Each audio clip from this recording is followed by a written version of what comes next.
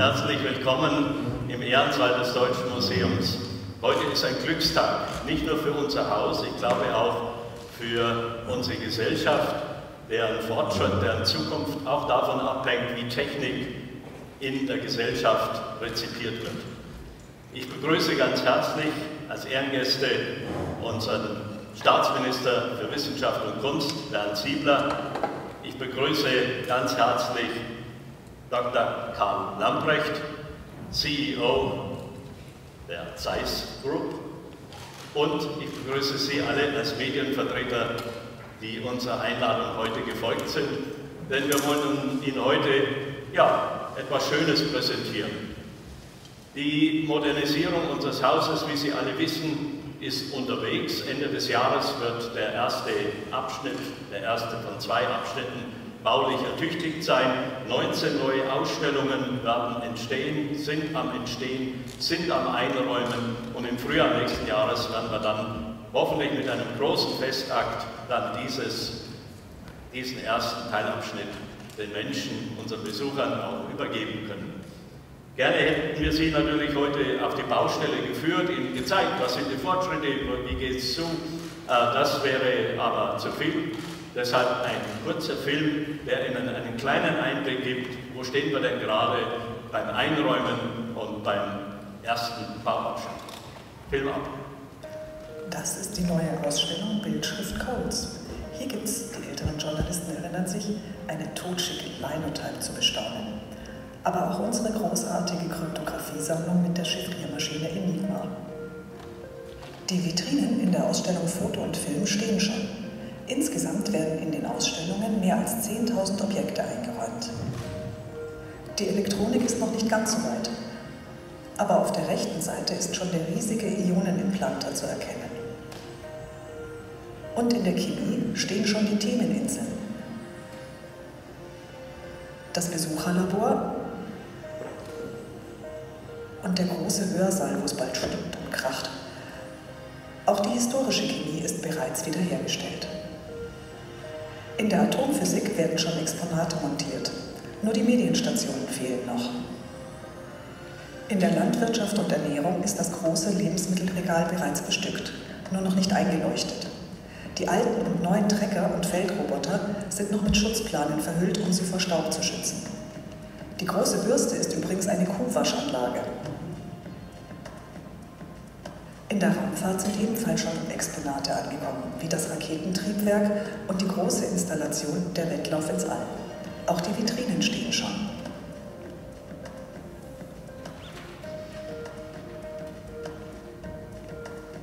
In der Luftfahrt hängen schon die ersten Flugzeuge an der Decke. Die große Luftfahrthalle ist derzeit noch Umschlagplatz für die ankommenden Großexponate. In der Gesundheit ist der große Mensch zu erkennen, der die ganze Ausstellung beherrscht. Vom 5 Meter hohen Fuß über das tiefrote Herz bis zum Kopf.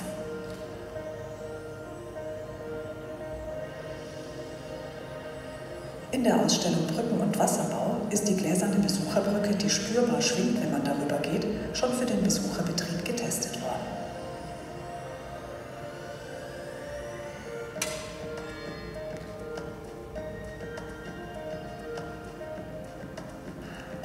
Musikinstrumenten steht schon die erste große Orgel und wird bald wieder zu hören sein.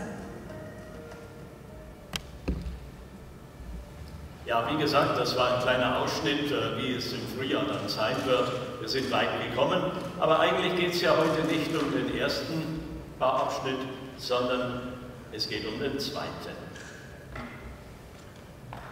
Im zweiten Bauabschnitt, 22, wird er beginnen, spätestens 28 werden wir damit fertig sein. Da liegt eine Ausstellung, die uns ganz besonders am Herzen liegt, weil sie eine der bestbesuchten Ausstellungen ist, die das Deutsche Museum zu bieten hat, und zwar schon seit Gründung unseres Hauses. Am 7. Mai 1925 hat der Oskar von Miller an seinem 70. Geburtstag unser Haus eröffnet. Und das ist die Physikausstellung. Das ist sozusagen die Basisausstellung für alle Naturwissenschaften und letztendlich für alle Technik. Die war aber bis heute nicht finanziert. Diese Ausstellung war bis heute nicht finanziert und das ist natürlich ein großes Makel gewesen. Aber mit dem heutigen Tag, und deshalb haben wir Sie eingeladen, ist das Geschichte. Heute tritt die Zeiss-Gruppe in den Gründerkreis des Deutschen Museums ein. Als zehntes Mitglied, das erste Mitglied im zweiten Hauptschnitt. Wie alle Gründerkreismitglieder wird die Zeiss-Gruppe uns mit 5 Millionen Euro mäzenatisch ohne Gegenleistung unterstützen. Danke schon an dieser Stelle dem CEO.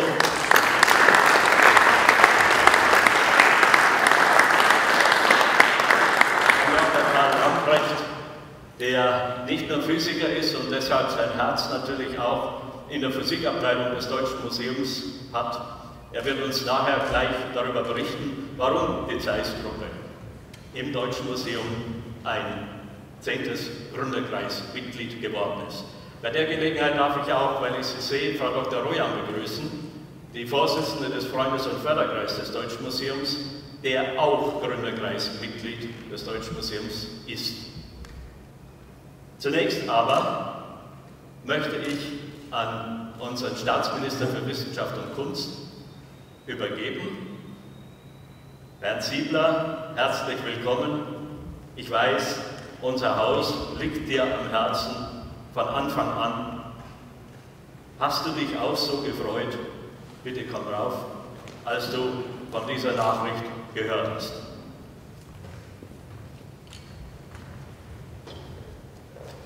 Sehr geehrter Direktor, lieber Wolfgang Heckel, sehr geehrter Dr. Lambrecht von der Zeiss-Gruppe, meine sehr geehrten Damen und Herren. Bitte entschuldigen Sie zunächst, dass ich zu spät gekommen bin, aber ich war im Haushaltsausschuss des Bayerischen Landtages da geht man nicht eher. Da geht es um richtig Geld, da geht es um richtig Projekte und ich bin jetzt so dankbar, dass es nur zehn Minuten geworden sind. Trotzdem möchte ich mich ausdrücklich entschuldigen. Ja, lieber Wolfgang, ich habe mich sehr gefreut. Denn dieses Museum liegt mir wie vielen von Ihnen seit Kindheitstagen am Herzen. Was habe ich für wunderbare Erlebnisse hier gehabt, als ich mit der Schule kommen musste am Anfang weil da fährt man einfach irgendwann ins Deutsche Museum und dann, als wir heimgefahren sind, haben alle gesagt das war aber großartig. Natürlich der Faradayische Käfig, natürlich die großartigen äh, Unikate, die hier ausgestellt sind, die Exponate, wir spüren auf das Knöpfe drücken und es bewegt sich etwas. All diese Dinge, die Sternwarte und alles, was mit dazu kommt, das ist einfach beeindruckend und macht ganz, ganz viel Freude. Und dann war ich auch immer wieder mal hier als Jugendarbeiter denn im Ferienprogramm, das ich dann zwischen dem 17. und dem 25. Lebensarbeitsjahr hatte, waren wir jedes Mal im Deutschen Museum und jede Fahrt, meine sehr geehrten Damen und Herren, war sofort voll, weil alle mitkommen wollten und erleben wollten, was es denn wieder gibt und wie schön es ist und wie es passt und läuft. Wenn man dann politisch Verantwortung tragen darf, dann schließt sich fast ein Kreis. Und wir haben jetzt in den letzten Jahren ja auch intensiv gearbeitet. Es war im letzten Jahr für mich ein ganz zentraler Punkt, als ich zusammen mit unserer Bundesbildungsministerin Anja Karliczek die Vereinbarung über weitere 300 Millionen Euro für die Sanierung im BA2 haben unterschreiben dürfen. Die, der erste Bauabschnitt wird jetzt dann Gott sei Dank fertig. Wir wussten, wir müssen aber finanziell nachlegen und das haben wir als Politiker auch getan. Umso mehr freut es mich, Dr. Lamprecht, dass die Zeiss-Gruppe eben jetzt auch mit dazukommt und äh, Sie gerade das Themenfeld Physik intensiv bearbeiten, anbieten werden. Mich freut es auch für dich, lieber Wolfgang Heckel, denn äh, Conditio sine qua non für alle staatliche Finanzierungen war natürlich schon, dass wir aus der Münchner Bürgergesellschaft, aus Bayern, aus ganz Deutschland eben auch äh, Spendenmittel mitbekommen. Und wenn ich diese 5 Millionen von der Zeiss-Group jetzt mit dazu nehme, dann ist es die beeindruckende Summe von 50 Millionen Euro, die jetzt schon beigetragen worden ist. Das ist ein bemerkenswertes bürgerschaftliches Engagement, ein tolles Engagement unserer Unternehmen, die sich hier einbringen. Und wenn das Ganze darum geht, dass man ähm, ein Museum unterstützen kann, das in der, im Bewusstsein der deutschen, der europäischen ich glaube, man kann ohne Übertreibung sagen, der weltweiten äh, Strukturen und Bevölkerung verankert ist, ist das etwas sehr, sehr Schönes und drückt aus, dass Unternehmen Verantwortung für Öffentlichkeit übernehmen, drückt aus, dass sich Menschen in diesem Haus verbunden fühlen, drückt auch aus, dass die Politik äh, ihre Verantwortung mit trägt. Es war ein schwieriger Prozess im Jahr 2019, als wir die Dinge ein Stück gestalten mussten, aber es ist, sieht jetzt alles nach einem guten Ende aus und umso mehr freut es mich, dass wir hier jetzt Menschen begeistern konnten, dass der Wolfgang Heckel wieder mal Menschen begeistern konnte, die gesagt haben, ich fühle mich begeistert und mache auch meine Geldbörse dafür auf. Denn das ist natürlich immer noch das nächste Commitment, das eine besonders große Rolle spielt. Und wenn es hier eben für die Zeiss-Gruppe gerade um die Physikausstellung geht, dann schließt sich hier natürlich auch ein Bogen. Sie sind ja seit vielen Jahren hier auch äh, mit engagiert und bringen sich mit entsprechend ein. Und jetzt auch das Commitment, in den Gründerkreis zu kommen, das halte ich einfach für großartig. Denn äh, hier wächst zusammen, was zusammengehört. Das ist wirklich beeindruckend. Und ich freue mich wirklich sehr, dass wir so einen schönen Termin heute haben können in diesem mehr als beeindruckenden Saal, in diesem mehr als beeindruckenden Museum, das sich den Fragen der Zukunft stellt, mit dem Blick auf die Vergangenheit, wenn ich auch die kulturellen Aspekte ansprechen darf, draußen in diesen schwierigen Zeiten auch im letzten Jahr bereits äh, einen Platz für Kunst und Kultur geschaffen hat, dass die Dinge wieder stattfinden können. So kann man sehen, dass dieses Deutsche Museum kein Elfenbeinturm ist, sondern mitten im Leben steht und das aufnimmt, was an gesellschaftlichen Trends mitgegeben ist wir haben so einen kurzen Einblick in die neuen Ausstellungen gesehen. Das Thema Gesundheit, Ernährung, Landwirtschaft sind ja alles Fragestellungen, die uns intensiv begleiten. Alles auf einer soliden Basis von Physik und Chemie. Das denke ich ist ein sehr, sehr guter Übergang mit Dr. Lambrecht zu Ihnen. Und dann ganz, ganz herzlichen Dank im Namen der gesamten bayerischen Staatsregierung, auch unseres Ministerpräsidenten, mit dem ich gerade noch Kontakt hatte, für das großartige Engagement. Ich denke, das sind die Zeichen, die wir in schwierigen Zeiten brauchen, dass es niemandem egal ist, wie es weitergeht in dieser Welt, schon gar nicht den Unternehmerinnen und Unternehmern. Das ist ein guter Tag, ein starkes Signal. Ich bin sehr, sehr stolz, dass wir hier in Bayern die politische Verantwortung tragen, dass wir Geld unterstützen dass wir viele Unternehmen haben, viele Menschen aus der ganzen Gesellschaft, die nicht nur mit Worten unterstützen, sondern auch mit hartem Geld. Herzlichen Dank.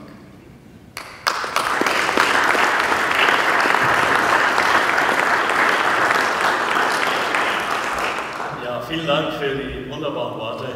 Ähm, die gelten allen Mitarbeitern und Mitarbeiterinnen in unserem Haus. Denn äh, es ist eine große, eine große Kraftanstrengung, ein Haus, das 100 Jahre alt wird, das auf den 100 Millionsten Besucher zugeht, äh, in eine neue Zeit zu führen. Übrigens war es immer Anspruch Oskar von Millers, das Neue, die Zukunft auszustellen. Retrospektiv sieht das natürlich so aus, wie wenn der erste Dieselmotor dieser Erde, den wir im Haus haben, ein altmodisches Exponat wäre.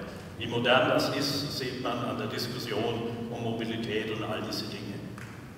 Jetzt aber möchte ich, Sie verzeihen mir, wenn ich das so sage, den Helden des Tages auf die Bühne bitten, der Dr. Karl Lambrecht. Da ist nochmal, glaube ich, ein Applaus.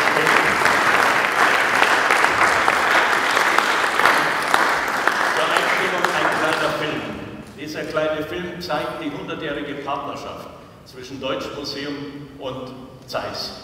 Oskar von Miller hat im Jahr 1923 das erste Projektionsplanetarium dieser Erde bei Zeiss angeregt. Seitdem gibt es tausende Planetarien auf dieser Erde. Das ist unser neues Planetarium. Sie sehen, wie cool das ist, wenn die jungen Leute sehen dürfen, wie es im Weltall zugeht. Hier sehen wir das Zeiss Elektronenmikroskop wo wir Vorführungen im guten alten Sinne des Deutschen Museums machen, dass Menschen sehen können, wie die Bärtierchen, das sind kleine, äh, ähm, kleine äh, äh, Mikroben aus der ISA in einem Elektronenmikroskop aussehen. Herr Dr. Lambrecht, the stage is yours.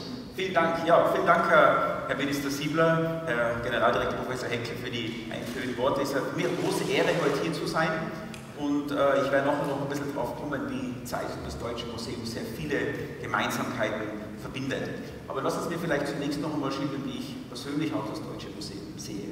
Ist für mich immer Ort der Inspiration, des Lernens und ich versuche das auch immer zu vergleichen mit anderen Museen. Ich bin ja sehr viel in der Welt unterwegs und versuche immer Zeit zu finden für naturhistorische Museen, technische Museen, Exploration, äh, weil ich, wie gesagt, Physiker bin und die Welt immer gern besser verstehe, man lernt da immer was dazu. Und ich muss sagen, das Deutsche Museum sticht für mich schon sehr heraus.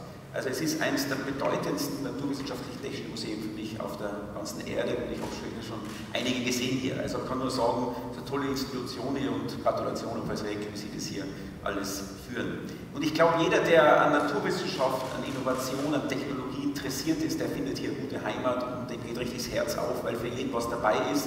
Äh, die ganze Bandbreite. Ich selber bin mit meiner Tochter, die Gott sei Dank jetzt auch ein MINT-Fach studiert, da bin ich auch sehr stolz, die macht Bioinformatik und ich bin seit sie vier Jahre alt war immer regelmäßig jedes Jahr hierher gekommen. Ich habe mich da gefreut, wie die Kinderabteilung gegründet wurde, die sehr reißfest ist.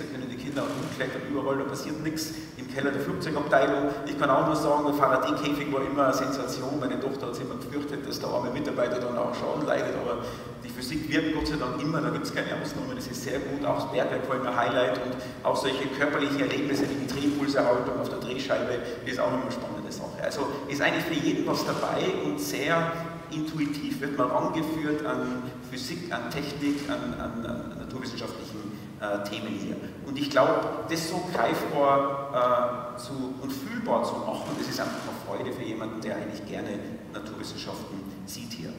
Und ich glaube, äh, an der Stelle hat das Deutsche Museum Zeiss sehr viele Gemeinsamkeiten.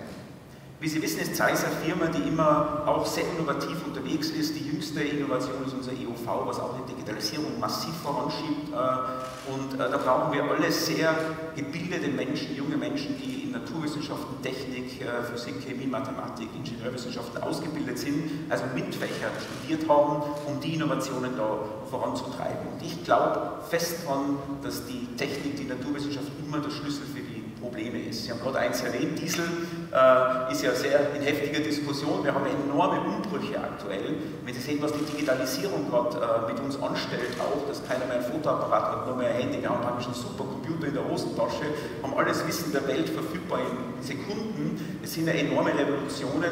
Wir sehen es in der Mobilität, wo Elektroantrieb kommt, wo in der Batterieforschung.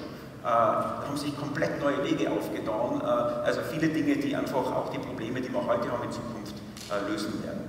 Und dafür brauchen wir junge Menschen, die auch in die Naturwissenschaften, die Technik reinwachsen. Und da leistet das Deutsche Museum einen sehr guten Beitrag. Sie haben es gerade geschildert, wie sie gezwungen waren und dann freiwillig hergekommen sind, was eigentlich ein guter Übergang ist, dann, wenn man dann sieht, wie spannend ist.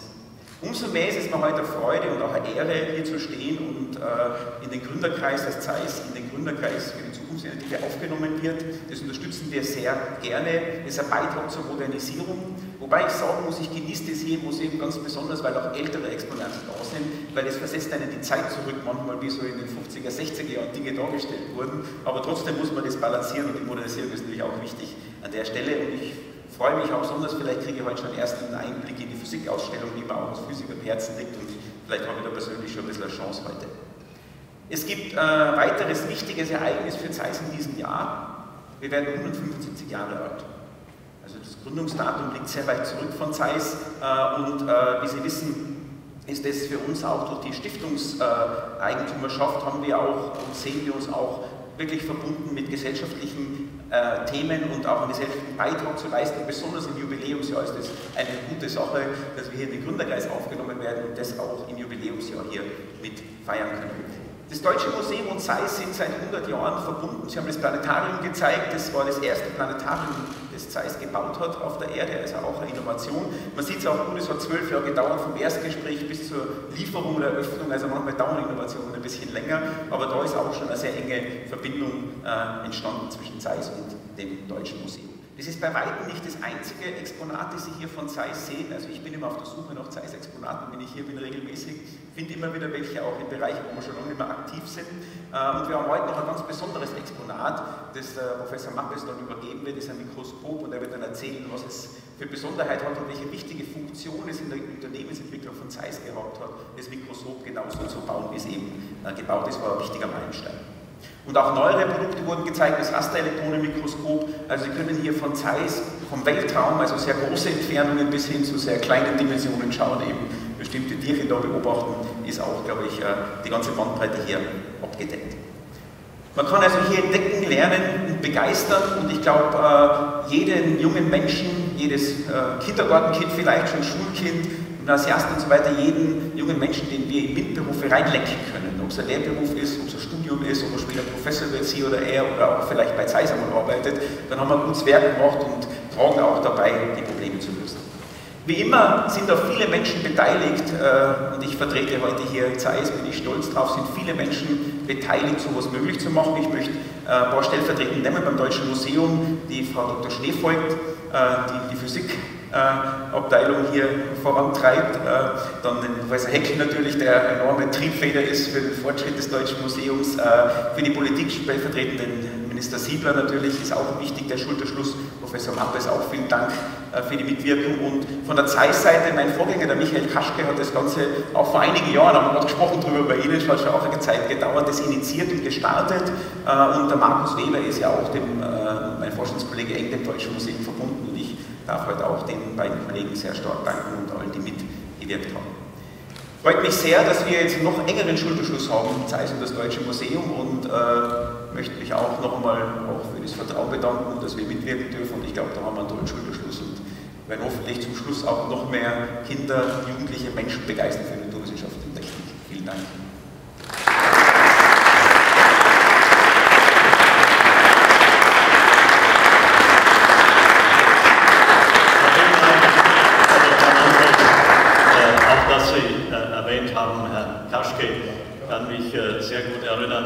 Dass wir vor etwa vier Jahren, äh, dass er mich angerufen hat und äh, gesagt hat, also äh, Deutsches Optisches Museum Jena, Professor Mappes.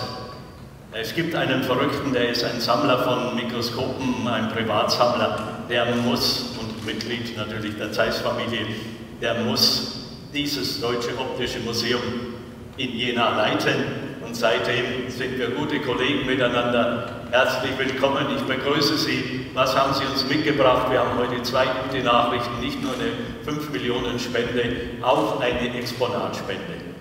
Herr Professor Mappes. Vielen Dank, Herr Professor Eckel. Dankeschön. Ah, ja, äh, meine Damen und Herren, ich würde gerne auch direkt Bezug drauf nehmen, und zwar einmal auch, was äh, Dr. Lambrecht eben gesagt hat, ähm, wenn man in die Geschichte von Zeiss geht. Warum ist das Exponat, das ich Ihnen mitgebracht habe, aus der Sammlung... Ah, gibt es ein... Oh, Entschuldigung? Die klassische Optik ist eine der 19 neuen Dauerausstellungen, die gerade im ersten Bauabschnitt fertiggestellt werden. Ein Highlight der Ausstellung ist das mikroskopische Theater, das die Besucher zu einer Reise in die Welt der Linzlinge einlädt. Hier gibt es Ameisen im Großformat zu bestaunen und vieles andere mehr. Ein Mitarbeiter des Deutschen Museums macht in diesem mikroskopischen Theater Live-Vorführungen an einem Rasterelektronenmikroskop und an anderen Mikroskopen. Dazu bringt er auch die legendären Bärtierchen ins Museum mit, die man dann in ihrer ganzen Pracht auf dem Großbildschirm bestaunen kann. Die Zuschauer sind live dabei und können Fragen stellen. Die Vorführungen dauern deshalb auch schon mal eine ganze Stunde. Okay, danke. Ja, einmal nochmal Bezug drauf nehmend, ähm, was ich hier mitgebracht habe, ist ein Gerät aus der Sammlung des Deutschen Optischen Museums und das ähm, eben genau zeigt, warum oder wie hat das bei Zeiss begonnen. Lassen Sie mich ein ganz klein bisschen ausholen auf die 175 Jahre, die Herr Dr. Lambrecht gerade schon erwähnt hat. Der 30-jährige Karl Zeiss hat 1846 ein Start-up in Jena gegründet. Und hat angefangen, ich zitiere, Fertigung zum Verkauf mechanischer und optischer Instrumente sowie zur Errichtung eines Ateliers für Mechanik in Jena. Ähm, nachdem er damit angefangen hat, Mechanik zu machen, hat er schon nach einem Jahr, 1847, angefangen, Mikroskop zu bauen. Ähm, einfache Mikroskope erst, aber ähm, hat, ist relativ früh in den Kontakt gegangen mit Wissenschaftlern, mit den Anwendern, mit seinen Kunden. Das ist unheimlich wichtig und da würde ich übrigens immer wieder sagen, das ist was, was man immer wieder lernen kann, auch was ist in der Geschichte passiert und wie äh, schlägt sich das heute nieder. Als Beispiele. Die Mikroskopoptiken, ähm, die Zeiss dann baute, 1857 äh, hat er mit zusammengesetzten Mikroskopen angefangen, die sind bis zum Ende des 19. Jahrhunderts gepröbelt worden. Was bedeutet das? Sie haben Linsen einzeln äh, geschliffen und haben die dann kombiniert zu einem Objektiv. Sie wussten aber vorher nicht genau, wie ist die Vergrößerung, wie gut ist dieses Objektiv. So hat man auf der ganzen Welt, wo man Mikroskope herstellt, das große Teil davon war in Europa hergestellt. Und dann gab es auch tatsächlich von sehr guten anderen Herstellern, gab es ähm, in den Firmenschriften, ich zitiere aus den 1870ern, besonders gut gelungene Objektive werden, soweit vorhanden, für entsprechend höhere Preise abgegeben. Das heißt, wenn Sie was gekauft haben, wussten Sie gar nicht genau, was kriegen Sie denn da eigentlich. Und auch das hat sich in den Publikationen immer wieder wiedergespielt, dass man dann der eine oder andere meinte, ja, hat jetzt ein Objektiv von dem äh, Hersteller gekauft und ja, diesmal ist es wohl nicht so gut gelungen.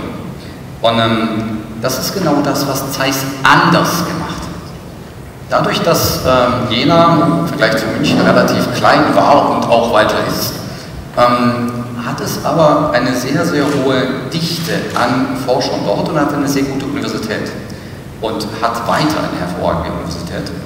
Und genau das hat Zeiss gemacht. Er ist dort mit den Anwendern in Kontakt gegangen und hat einfach zugehört, was wollen die, was brauchen die. Und das ist eben genau diese ja, Reproduzierbarkeit. Sie wollen wissen, wie gut funktioniert das Ganze, wenn sie es kaufen. Und so war Zeiss 50 Jahre alt, als er einen jungen, engagierten Physiker mit dazu genommen hat, Ernst Abbe. Der war damals 26, also ungefähr halb so alt, und hat an der Universität Jena gelehrt und das Ziel dieser Kooperation, die die beiden begonnen haben, war, eben den Kunden zuverlässige Mikroskope anzubieten und über das Verständnis, wie funktionieren denn eigentlich diese Optiken, natürlich auch die Auflösung immer weiter voranzutreiben. Das ist wieder die Brücke zur EUV, die vorhin äh, der äh, Dr. Lambrecht erwähnt hat. Also sprich immer das Verständnis und immer ein bisschen weiter noch voranzutreiben, was man sonst eigentlich konnte. Und da haben die beiden relativ lange Theorie und dann eben auch in der Praxis probiert, ähm, haben also berechnet, haben das dann gefertigt, dann gab es Fehlschläge und schließlich 1872 konnte Zeiss, ich zitiere, in den äh, Produktkatalogen schreiben, die hier aufgeführten Mikroskopsysteme, dann ist ein Objektiv gemeint, sind sämtlich neuerdings aufgrund theoretischer Berechnungen des Herrn Professor Abbe in Jena konstruiert. Das heißt, 1872 war Zeiss das erste Unternehmen auf der Welt, das tatsächlich diese Objektive reproduzierbar herstellen konnte. Und wie weit das gegangen ist, sieht man auch, wenn man sich die Objektive anschaut. Denn die ganzen Objektive, Mikroskop haben immer eine Seriennummer, aber auch die Objektive hatten bei Zeiss eine Seriennummer. Das heißt, da war ganz auf der Frontlinse, auf der Montierung, war noch eine Nummer ähm, eingestanzt, die kannte der Anwender, wenn er nicht mit dem Mikroskop selber rangegangen ist, gar nicht sehen. Die war für den auch äh, irrelevant. Aber es war komplett rückverfolgbar. Wir haben heute bei uns im Deutschen Optischen Museum eben auch tatsächlich die Unterlagen, dass man sehen kann, welche Schmelze ist in jedem dieser Objektive drin. Begonnen hat das 1872 und genau so ein Gerät habe ich jetzt mitgebracht. Und zwar eines, das, und auch das ist das, ähm, das Tolle daran, ähm, man kann bei Zeiss heute noch nachvollziehen, an wem ist ein Gerät wann mit welcher Ausstattung ausgeliefert worden. Ähm, auch das alles rückverfolgbar, bis heute für jedes Instrument. Und äh, so wissen wir, dass das Gerät, das ich Ihnen jetzt gleich übergeben darf, ähm, am 25.08.1879 an die Vereinsbrauerei Salzungen, so als ähm, jetzt mittlerweile Thüringer denkt man bei der München immer ans Bier, also insofern passt das vielleicht auch ganz gut mit der Vereinsbrauerei, äh, ausgeliefert wurde. Und das würde ich Ihnen jetzt übergeben wollen. Das ist ganz bewusst kein Forschungsmikroskop, sondern eben ein Gerät, wie es Hunderten hergestellt gedient hat und im Ende damit unser Leben auch verbessert hat. In ganz vielerlei Hinsicht.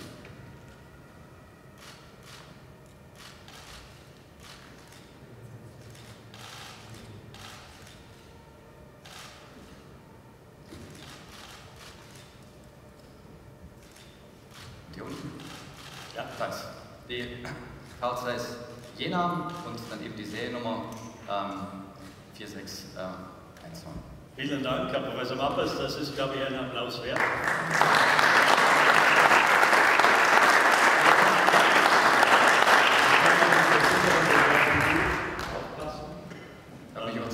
Es gibt ja heute noch Nobelpreise, wenn man an Appelschen Limit arbeitet. Stefan Hell hat ja erst kürzlich als deutscher Physiker einen Nobelpreis dafür bekommen.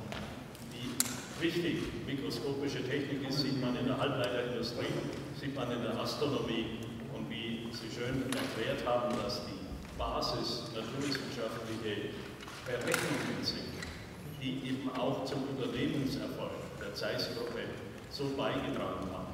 Das ist ein schöner, einfach ein schöner äh, äh, Zirkelschluss. Und ja, die Gründerkreisurkunde müssen wir bitte schön gebracht kriegen und dann dürfen wir sie signieren. Und dann gibt es keinen drinnen mehr. Denn Oskar von Miller hat ja auch, äh, das ist ja die Reminiszenz, einen Gründerkreis zum Aufbau des Deutschen Museums gegründet. Karl von Linde war damals der große Geldbeschaffer und das hat auch wieder mit dem Brauwesen zu tun.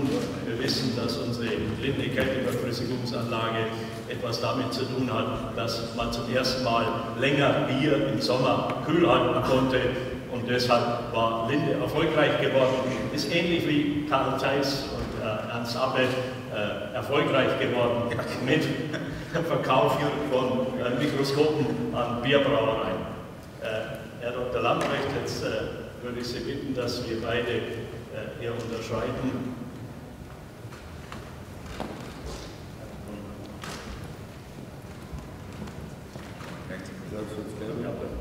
Vielleicht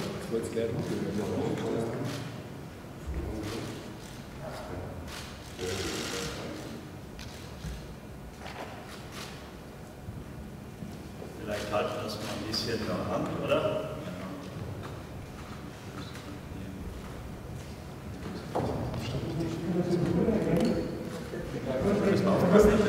Ja, das ist ein Lehrfotobus. Ja. Noch, noch weiter, dass alles schwarz ist. Irgendwas zu alles irgendwas. Jawohl, hängst du mir rechts mit und schaust, dass das, das Mikroskop in den ganzen Verlauf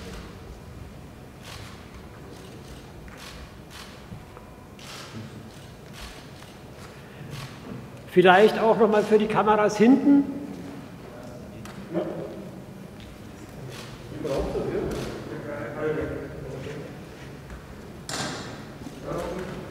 Der Kollege noch.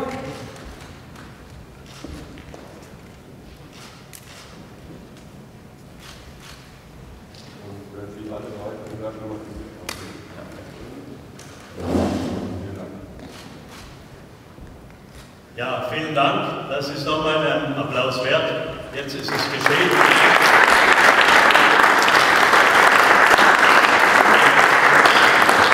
Dürfen wir noch mal sitzen? Und was tatsächlich mit, äh, diesen, mit dieser Spende geschehen wird, wird uns jetzt unsere Kuratorin Frau Schneevogt erklären. Sie ist die Kuratorin Daniela Schneevogt für die Physik und äh, ich glaube, sie wird den Bogen spannen können zwischen traditionellen physikalischen Experimenten, Mitmach-Knopfdruck-Experimente und eben auch, wie soll die zukünftige Physikausstellung aussehen. Frau Schäfer. Genau. Ich freue mich erstmal sehr, äh, hier Ihnen heute einen, einen ganz kurzen Abriss nur darüber zu geben, was die, unsere Vorüberlegungen sind für die Physik. Wir freuen uns wahnsinnig, dass wir jetzt mit der Konzeption starten können. Und was immer schon anklang, eben die Physik ist und war ähm, immer schon eine der beliebtesten Abteilungen hier im Haus. Ähm, und das soll sie auch weiterhin bleiben. Ja? Also sie ist ein bisschen in die Jahre gekommen, ich glaube, das sieht man, das merkt man, sie ist mittlerweile fast 60 Jahre alt, funktioniert aber immer noch. Ähm, wir wollen hier aber nicht stehen bleiben, sondern uns weiterentwickeln und ähm, die Physikabteilung tatsächlich auch zu einem modernen Highlight dieses Hauses machen. Dafür soll eine komplett neu gestaltete und fachlich und äh, inhaltlich neu konzipierte Ausstellung äh, entstehen. Das Kernelement der heutigen Ausstellung sind etwa die 200 äh, interaktiven Stationen. Ähm, sie laden die Besucherinnen und Besucher ein, sich eigenständig und spielerisch äh, mit den physikalischen Phänomenen zu beschäftigen und so auch selber die Zusammenhänge erkunden zu können. Das ist das Besondere und diese Interaktivität, die würde ich, die würden wir wahnsinnig gerne beibehalten. Denn ich glaube, das, das sprach hier auch eben aus den Redebeiträgen immer. Ich glaube, die Dinge, die wir selber anfassen, die wir ausprobieren können, das sind auch die Dinge, die wir am besten behalten die uns im Kopf bleiben. Was noch fehlt in der momentanen Ausstellung ist ein äh, Vorführbereich, in dem ähm, spannende physikalische Experimente dann auch in äh, täglichen Science-Shows gezeigt werden können. Dafür soll in der neuen Ausstellung ein eigener, dezidierter Bereich entstehen, ähm, in dem dann unser Ausstellungsdienst, unsere ähm, Explainer ähm, in täglichen Science-Shows zum Beispiel schon die bekannten Highlights wie die flüssige Stickstoffvorführung, aber natürlich auch neue Inhalte präsentieren können. Gerade diese persönliche Vermittlung ähm, immer mit dem Ziel, die, die jungen Menschen ähm, für die Naturwissenschaften zu begeistern und dass diese Naturwissenschaft, die hier gestiftete Naturwissenschaft, manchmal auch ein Leben lang halten kann. Dafür haben wir heute Beispiele gehört. Ich finde, es gibt immer ein sehr schönes, so hat der äh, Physiker und spätere Nobelpreisträger Rudolf Mössbauer immer sehr gerne erzählt, dass sein eigentliches Interesse an der Physik erst hier im Deutschen Museum begründet wurde. Ähm, wir wollen aber nicht nur Mitmachstationen zeigen, ähm, wie das in, in anderen Science-Centern der Fall ist, sondern wir können hier auf eine einmalige Sammlung von etwa 6000 Exponaten zurückgreifen. Ähm, darunter befinden sich Meilensteine der, der Wissenschaftsgeschichte, Originalexponate von Physikern wie Hertz, Ohm, Gericke, hey. aber auch Nobelpreisexponate wie die Versuchsanordnung von, von Röntgen zur Entdeckung der Röntgenstrahlen. Und ich persönlich freue mich auch sehr, dass ähm, diese Exponate in der neuen Ausstellung wieder einen Platz finden werden ähm, und auch ihre eigene Strahlkraft entfalten können. Ähm, ein wichtiges Standbein für die Neuerung sind aber natürlich auch neue Themengebiete. Die Ausstellung, so wie wir sie jetzt kennen, ist aus den 1960er Jahren. In, Im 20. und im 21. Jahrhundert hat sich natürlich in der Forschung sehr, sehr viel getan. Ähm, das ist in der momentanen Ausstellung noch nicht enthalten und wir freuen uns sehr, dass natürlich auch Themen wie spezielle Relativitätstheorie, äh, Phänomene der Quantenmechanik, dass wir diese einführen können. Ich denke, das ist, das ist dringend notwendig. Ähm, neu entstehen wird auch ein Ausstellungsbereich ähm, zur Metrologie der Wissenschaft des Messens. Hier haben wir die PTB und Heidenhain als Partnerin, als fachliche Partner, ähm, weil das sozusagen die Grundlage jeder physikalischen Praxis ist. Ähm, bei allen Neuerungen ist es immer angeklungen, die Physik ist eine sehr traditionsreiche Abteilung hier im Haus. Ähm, seit Museumsgründung ähm, ein fester Bestandteil des stetig erweiterten ähm, Ausstellungskanons. Seit Eröffnung des Museumsgebäudes hier auf der, auf der Museumsinsel 1925 gibt es eine Physikausstellung. Die jetzige Ausstellung stammt aus den 1960er Jahren und so ist es tatsächlich bei allen Neuerungen sehr verständlich, dass wir diese Seele, diesen analogen Charme der Ausstellung tatsächlich sehr, sehr gerne erhalten möchten, ähm, weil ich glaube, die Ausstellung auch gerade deshalb so wahnsinnig viele Fans hat. Und ich glaube, lieber Helke, jetzt müssen wir noch einen Film zeigen. ähm, und zwar, wenn der Film kommt, dann kann man sehen, dass wir, beziehungsweise das tolle Team von der Presseabteilung, einen schönen Beitrag des BRs aus dem Jahr 1961 gefunden hat. Und da sieht man dann, dass ähm, Demonstrationen, die damals zum ersten Mal zu sehen waren, heute tatsächlich noch genauso nach 60 Jahren funktionieren. Physik ist eben. Sie funktionieren. genau. Genau, und jetzt kommt noch ein sehr, sehr schönes Bild. Ähm, äh, die Demonstration zur Drehimpuls-Erhaltung, wie man sieht hier auf dem Foto links, von 1926 macht auch heute noch dem Generaldirektor sichtbar große Freude. Genau. Vielen Dank, Frau.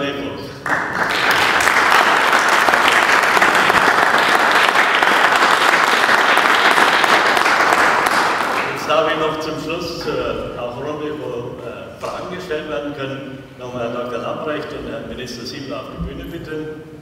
Ähm, Sie haben ja gesehen, meine Damen und Herren, die Erinnerungen, und wir haben es ja auch schon gehört, die Erinnerungen äh, an erste Besuche im Deutschen Museum spielen äh, in der ja, berufsstiftenden Wirkung eine ungeheure Rolle. Ich kann für mich sagen, nicht nur meine Großeltern haben die nachgewiesenen ältesten Eintrittskarten zum Deutschen Museum von 1905, die ich im Nachlass gefunden habe, äh, sondern mein erster Besuch im Deutschen Museum war genau, äh, wo ich mich erinnern kann, als Schüler, Schüler natürlich, 14 Jahre alt, war genau in der Physikabteilung und die Drehpulserhaltung hat einfach äh, den Ausschlag gegeben, glaube ich, auch für mich, am Ende Physik zu studieren, weil man als erstes verstehen konnte und als Lehrer, glaube ich, ehemaliger Lehrer, kannst du das auch nachvollziehen, dann, ähm, wenn man die Drehpulserhaltung an die Tafel geschrieben kriegt, ist es sehr abstrakt. Wenn man aber spürt auf dieser Drehscheibe, wie sich eine Pirouette äh, einer Eiskunstläuferin, die eine Pirouette macht und dann die Hand und die Arme anzieht, wie die dann schneller wird, also den Drehimpuls erhält, dann hat man es verstanden, weil man es erlebt hat, weil man es gespürt hat. Und deshalb möchte ich als kleine Eingangsfrage äh, stellen an erstmal Minister Siebler vielleicht, ähm, älteste Erinnerung ans Deutsche Museum, an Sie dann auch, Herr Landwirt. Wie gesagt, irgendwie Ausflug mit der Schule, Vaterdeischer Käfig, ganz eindeutig. Das ist ein ganz prägendes Element, keine große Überraschung, aber wenn es blitzt und kracht, ist das natürlich gerade für Jugendliche immer nachhaltig. Und ähm, wie du gesagt hast, veranschaulichen sich das A und O. Gerade, gerade in der Physik vom, vom Zugang eben her dann Dinge, die theoretisch gegeben sind, äh, dann praktisch zu erfahren. Die Konzepte haben übrigens sogar in viele Schulen Eingang gehalten, weil es schlicht und ergreifend darum geht, die Dinge, die man theoretisch arbeitet, auch gleich praktisch auszuprobieren. Und ist der Lernerfolg viel, viel größer. Dies hier ist ein lehrendes und ein lernendes Haus und das, glaube ich, ist großartig. Herr Dr. Lambert, ich müsste so zehn Jahre gewesen sein, war mit Vater hier. Mein Vater war Flugzeugmechaniker in Innsbruck und da ist man immer nach München gefahren, aber für das sind wir hergefahren und wir haben natürlich die Flugzeugausstellung im Detail angeschaut. Äh, und dann, und dann bin ich, habe ich die anderen Sachen noch entdeckt im Museum als Kind, weil wir Zeit haben, aber das war mein erster Kontakt und ich war natürlich Flugzeug geprägt durch meine Herkunft meinem Vater, aber das hat mich sehr fasziniert, haben sie die Ausstellung Und heute haben Sie Ihren Wohnsitz genommen äh, im äh einem Ort, der sehr bedeutend auch für die Altbachtal, ja, der Erwin ist dort begraben, genau. genau. Der Kollege, Kollege Erwin Schrödinger, bedeutet, einer der bedeutendsten Quantenphysiker, da kann man gleich wieder die Brücke schlagen und wir werden in zwei Wochen den ersten Quantenchip, den Sycamore-Chip von Google hier als Originalexponat bekommen. Auch da wieder ein Ersti, der Chip, der ja in den Rechnungen Quanten Supremacy bewiesen hat auch das wieder ein großartiges Ereignis. Äh, aber ich verrate Ihnen auch noch was. Ich habe einmal, das hat mich so erinnert, was du gesagt hast, ich habe mal eine Besucherin, das hat sich herausgestellt, es war eine oberste Bundesrichterin, gefragt, ähm, wie sie das Deutsche Museum so findet. Und dann hat sie zu mir gesagt, ähm, wissen Sie, Herr Eckel, das ist der wichtigste Ort in meinem Leben, nämlich das Bergwerk bei Ihnen schaue ich Sie natürlich mit großen Augen an. Wie kann das sein? Sie sind ja Juristin geworden. Ja, sagt sie, im Bergwerk habe ich meinen Mann kennengelernt. Ja. Also Sie sehen auch, dass es eine emotionale, äh, eine persönliche Beziehung aufgebaut werden kann. Rufe ich all Ihren Kindern und Enkeln zu, kommen Sie und äh, genießen Sie auch diese äh, in Zukunft wieder noch mehr mögliche Möglichkeiten zu haptischen Begegnungen mit Menschen. Jetzt darf ich Sie bitten, wenn Sie Fragen haben, an Dr. Lamprecht und an Minister Siebler. Jawohl. Grimm, mein Name von München TV. Also was mich an Ihrer Firma, Herr Dr. Lamprecht, immer wieder fasziniert, Sie sind in einer Situation, in der das Objektiv, gerade also was jetzt uns Amateure betrifft, immer sagt nachgeordneter wird. Was tun Sie da, damit dieser Name Zeiss erhalten bleibt? Ist das jetzt ein erster Schritt in diese Richtung, wo man wieder nach außen geht und zeigt, was man alles kann? Oder wird irgendwann auch mal bei den etwas teureren Handys oder Kamera, Kleinkamera, ist der Name Zeiss ganz verschwunden? Ja, ja, das ist eine gute Frage. Wir sind, es ist schwäbische Bescheidenheit, würde ich einmal sagen, als Österreicher ist das, dass wir normalerweise nicht so über uns reden. Nicht? Wir sind ja wie gut nach in der Presse. Aber ich, ist ein Element, aber ich glaube, ich glaub, äh, äh, Sie haben recht, die meisten unserer Geschäfte sind nicht so sichtbar. Äh, manchmal sind eben Operationssaal, wo sie nicht sein wollen, als Patienten, da sind sie manchmal sichtbar. Am ehesten noch in den Brillengläsern, ich trage selber natürlich auch ein Zeissglas, ich hoffe sie auch eins, weiß ich nicht genau. Äh, dort und natürlich bei den Fotoobjektiven war man sehr sichtbar, was halt ein schwieriges Geschäft ist. Aber für uns ist das, ich glaube, das eine ist, äh, dass sie sichtbar sind, das andere, was mich aber ein bisschen mehr treibt hier, ist hier beizutragen. Nämlich, äh, was Zeiss auch ist, eine enorm innovative Firma, dass sie eine Vorstellung kriegen, wir suchen für unsere Halbwertdivision 800 Leute dieses Jahr in Oberkochen, neue, neue Jobs, die wir schaffen über die Innovationsmaschine. Äh, und da brauchen wir ganz viele Menschen, die einfach in den richtigen Fächern ihr Handwerk gelernt haben. Und das treibt uns auch enorm vorwärts, dass wir das Museum hier unterstützen, dass noch mehr Kinder, Jugendliche in den MINT-Fächern einfach reinkommen. Das ist die Haupttriebfeder, würde ich sagen.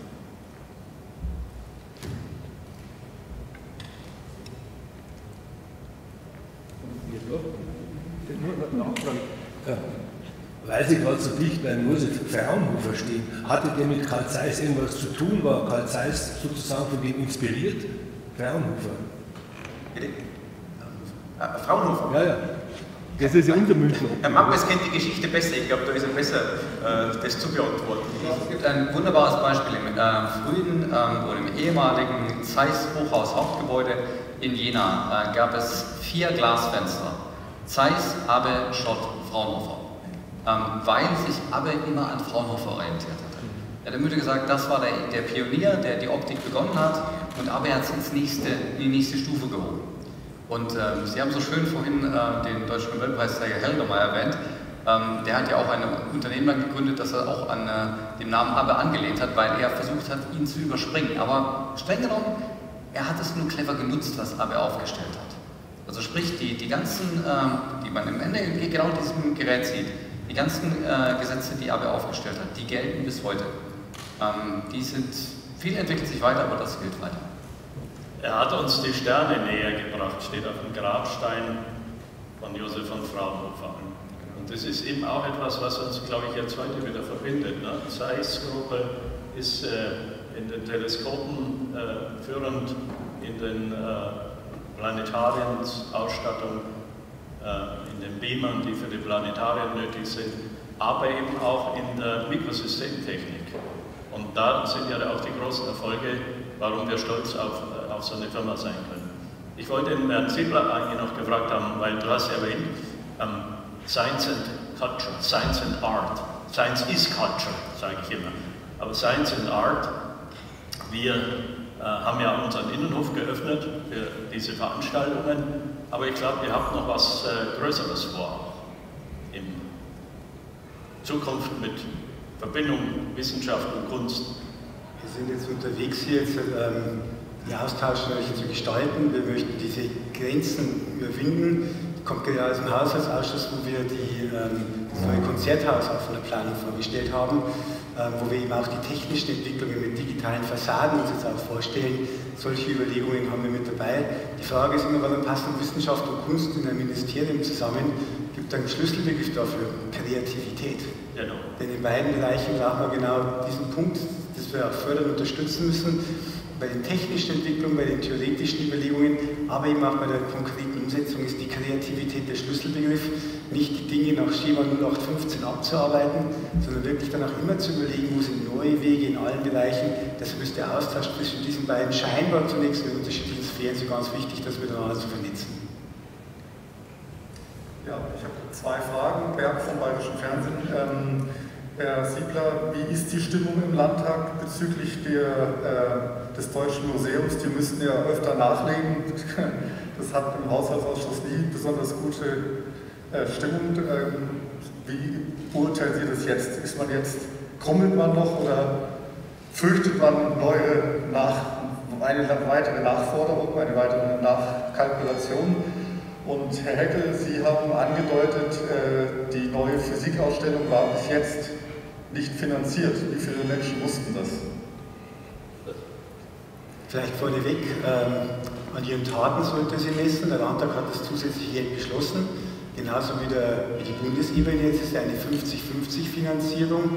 Es war auch vollkommen klar, dass das die abschließenden Gelder sein müssen. Also es war Commitment vorneweg. Deshalb haben wir eben auch diese ähm, Aufgabe dem Wolfgang Heckel mitgegeben, andere Bereiche eben auch extern zu finanzieren. Heute legt er schon die Leistungsbeweis vor, dass er sich dieser Aufgabe annimmt. Insofern ist die Stimmung im Landtag jetzt hier gut, weil die Dinge laufen weil wir alle hoffen, im nächsten, zum Ende des Jahres eben die erste, den ersten Bauabschnitt abbilden und eröffnen zu können. Sieht ja alles danach aus.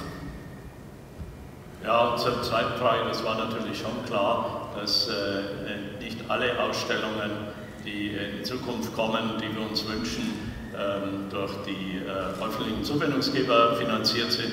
Das ist ja auch schon das Modell gewesen, das Oskar von Miller mit seinem Gründerkreis hatte. Äh, deshalb äh, wird es unsere Aufgabe sein, wird es auch äh, die Aufgabe äh, aller ähm, ja, Mäzene, äh, die da noch kommen werden, hoffentlich sein, das Deutsche Museum auch weiterhin in anderen Ausstellungen zu unterstützen. Und wir werden uns auch gemäß des Auftrags der öffentlichen Hand dafür sehr einsetzen und anstrengen, verweise auch nochmal auf unseren Freundes- und Förderkreis, der uns in großartiger Weise auch da unterstützt.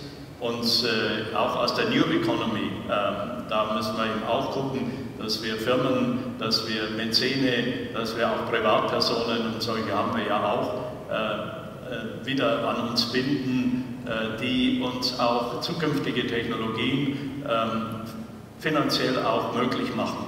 Äh, ich denke da zum Beispiel äh, an die äh, gesamte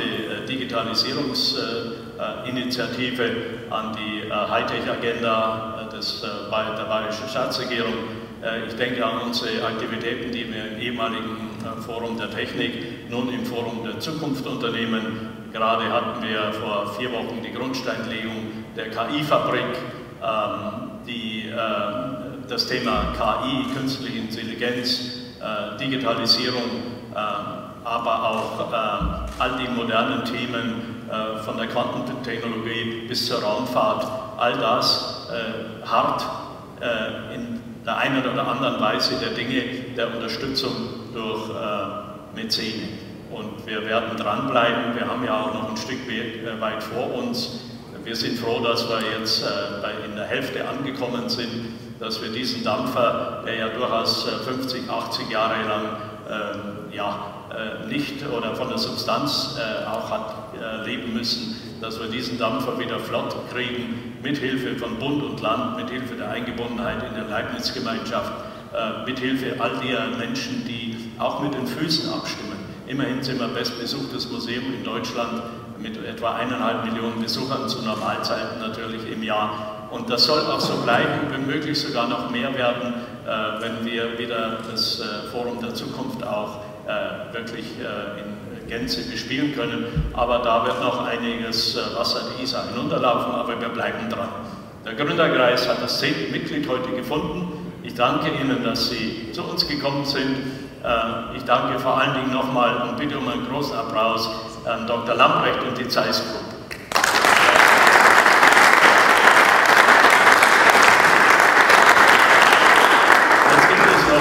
Möglichkeit natürlich zu Einzel- und Interview-Statements für Sie. Ein kleiner Umtrunk, ein kleiner Imbiss ist vorbereitet. Und Sie haben auch noch die Gelegenheit, natürlich ein letztes Mal auf die, ja, ein letztes Mal bis Ende des Jahres auf die Physikausstellung zu gucken, so wie sie in den 60er Jahren konzipiert wurde immer eigentlich äh, am Puls der Zeit, aber in der Didaktik, in der Pädagogik und eben auch mit neuen Themen äh, gerne nachrüstbar. Und das gelingt uns jetzt eben heute mit dem heutigen Tag.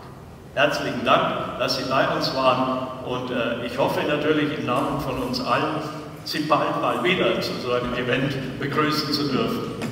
Vielen Dank.